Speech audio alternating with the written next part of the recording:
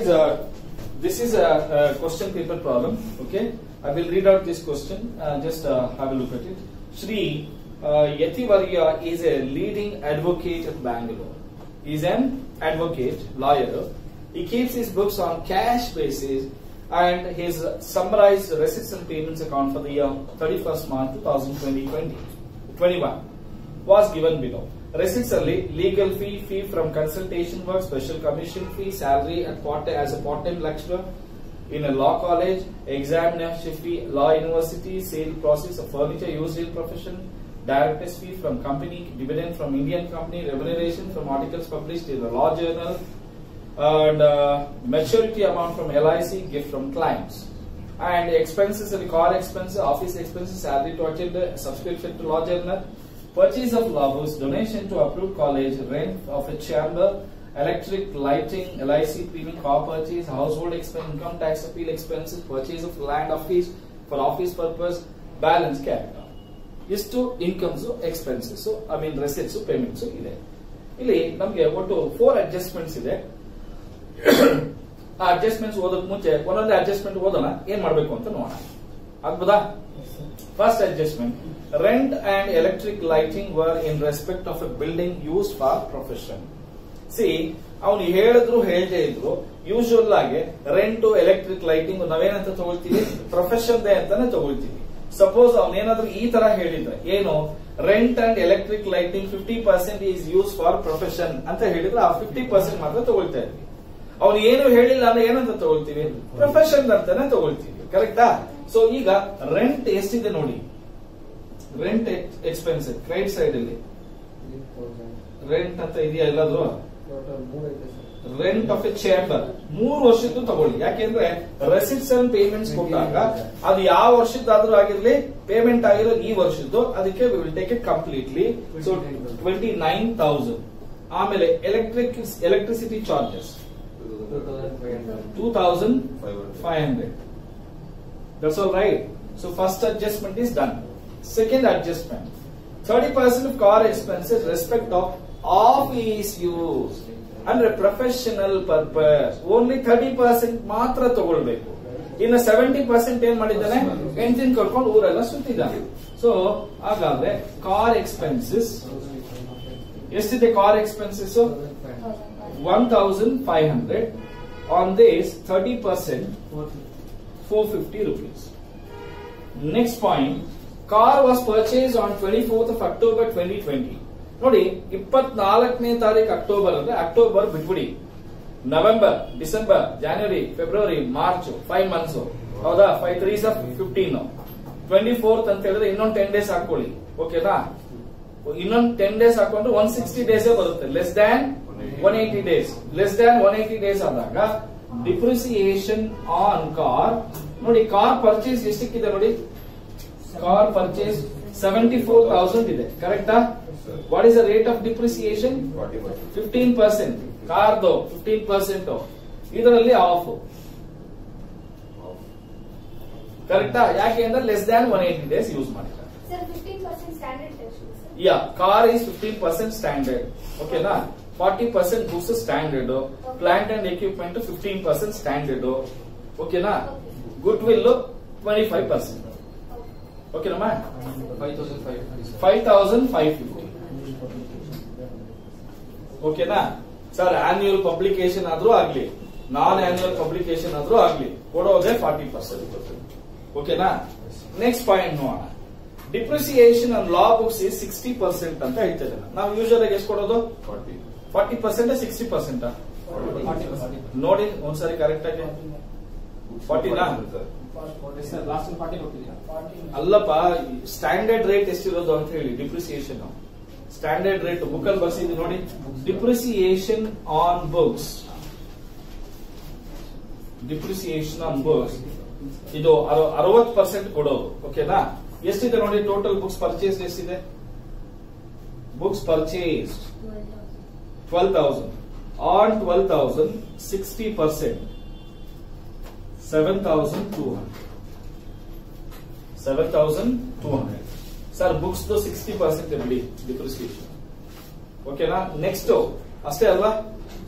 ಅಷ್ಟೇನಾ ಇನ್ನೇ ಇದೆಯಾ? ಈಗ ಡೆಬಿಟ್ ಸೈಡ್ ಇಂದ ಒಂದೊಂದೇ ಬನ್ನಿ ಇನ್ಕಮ್ ಸೈಡ್ ಅಲ್ಲಿ. ಲೀಗಲ್ ಫೀ ಮೂರು ವರ್ಷದ ಸೇರಿಸಿ ತಗೊಳ್ಳಿ.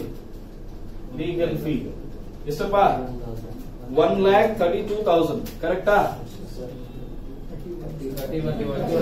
ತರ್ಟಿ ಒನ್ ಅದು one lakh thirty one thousand next fee from consultation consultation fee ಅಂತ ಹಾಕ್ತೀನಿ ಓಕೆನಾ ಎಷ್ಟಪ್ಪ ಅದು? Eighteen thousand next special commission ಲಾಯರ್ಗೂ ಇರುತ್ತೆ ಓಕೆನಾ ಸ್ಪೆಷಲ್ ಕಮಿಷನ್ ಎಷ್ಟು? ಆಮೇಲೆ. See salary as a part time lecturer ಅವನು ಪಾರ್ಟ್ ಟೈಮ್ ಲೆಕ್ಚರರ್ ಆಗ್ಲಿ ಫುಲ್ ಟೈಮ್ ಲೆಕ್ಚರರ್ ಆಗ್ಲಿ ಟೆಂಪರರಿ ಆಗ್ಲಿ ಪರ್ಮನೆಂಟ್ ಆಗ್ಲಿ ಸ್ಯಾಲ್ರಿ ಬರ್ತಾ ಇದ್ರೆ ಅದನ್ನ salary income from salary tax ಮಾಡಿ ಅರ್ಥ ಆಗ್ತಿದ್ಯಾ? ಸಪೋಸ್ ಅವ್ನು ಗೆಸ್ಟ್ ಲೆಕ್ಚರ್ ಹೋಗ್ತಾ ಇದ್ದಾನೆ ಅಂತ ಇಟ್ಕೊಳ್ಳಿ ಅದನ್ನು ಕೂಡ ಪ್ರೊಫೆಷನಲ್ ತಗೊಳ್ಳ, ಅದನ್ನ ಇನ್ಕಮ್ ಫ್ರಮ್ ಅದರ್ ಸೋರ್ಸಸ್ ಅಲ್ಲಿ ತಗೊಳ್ತೀವಿ. But no way will take as a as a lecturer guest lecture or a part time lecturer we don't tax under the professional income ಅರ್ಥ ಆಯ್ತಾ ನೆಕ್ಸ್ಟ್ ಎಕ್ಸಾಮಿನರ್ ಇವನು lecturer examination ಹೋಗಿದ್ದಾನೆ invigilation ಮಾಡಿದ್ದಾನೆ paper setting ಮಾಡಿದ್ದಾನೆ valuation ಹೋಗಿದ್ದಾನೆ.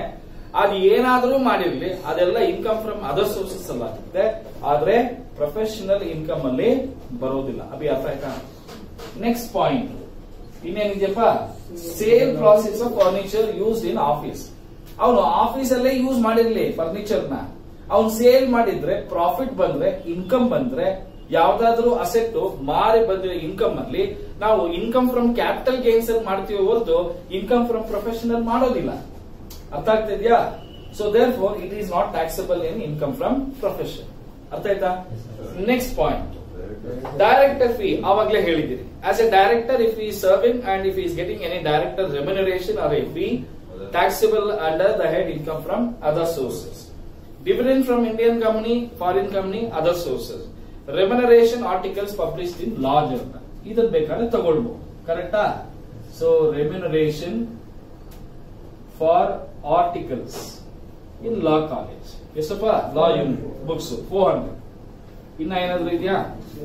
Maturity amount of L I C C ಅವ್ನು ಯಾವ್ದೋ ಒಂದು ಪಾಲಿಸಿ ತಗೊಂಡಿದ್ದ ಹತ್ತು ವರ್ಷಕ್ಕೆ.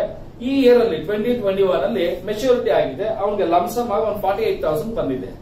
ಅದನ್ನು ಕೂಡ ನಾವೆಲ್ಲೂ ಟ್ಯಾಕ್ಸ್ ಮಾಡೋದಿಲ್ಲ. ಅರ್ಥ ಆಗ್ತಿದೆಯಾ? ಅದು ಕೂಡ ಎಲ್ಲೂ ಟ್ಯಾಕ್ಸ್ ಮಾಡಲ್ಲ. ಅದರಲ್ಲೂ ಪ್ರೊಫೆಷನಲ್ ಅಲ್ಲಿ ಟ್ಯಾಕ್ಸ್ ಮಾಡಲ್ಲ. Next gift from clients gift from clients ಎಷ್ಟಿದೆಯಪ್ಪ? Five thousand that's all about the incomes professional incomes let's see the expenses car expenses since car is use for ಎಷ್ಟು ಪರ್ಸೆಂಟ್ ಥರ್ಟಿ ಪರ್ಸೆಂಟ್ ಓ depreciation car ಇನ್ನೂ ಒಂದು mistake ಮಾಡಿದ್ವಿ. ಒಂದ್ ನಿಮಿಷ ನೋಡ್ತಾ ಇದ್ವಿ ಇದು half ಆಯ್ತಲ್ವಾ ಇದರಲ್ಲಿ ಥರ್ಟಿ ಪರ್ಸೆಂಟ್ ಆಗಿ. ಓಕೆನಾ? ಈಗ ಕಾರ್ ಎಕ್ಸ್ಪೆನ್ಸಸ್ ಎಷ್ಟಿದ್ಯಪ್ಪ? ತೌಸಂಡ್ ಫೈವ್ ಹಂಡ್ರೆಡ್ ಇದೆ. ತೌಸಂಡ್ ಫೈವ್ ಹಂಡ್ರೆಡ್ ಇಂಟು ಏನಪ್ಪ? ಕಾರ್ ಎಕ್ಸ್ಪೆನ್ಸಸ್ ಬೇರೆ ಡಿಪ್ರಿಸಿಯೇಷನ್ ಕಾರ್ ಬೇರೆ. ಓಕೆನಾ? So thousand five hundred into thirty percent ಎಷ್ಟು ಬರುತ್ತಪ್ಪ four four hundred ಫಿಫ್ಟಿನಾ four hundred fifty okay correct next ಇನ್ನೇನಿದೆಯಪ್ಪ? Office expenses ಇದ?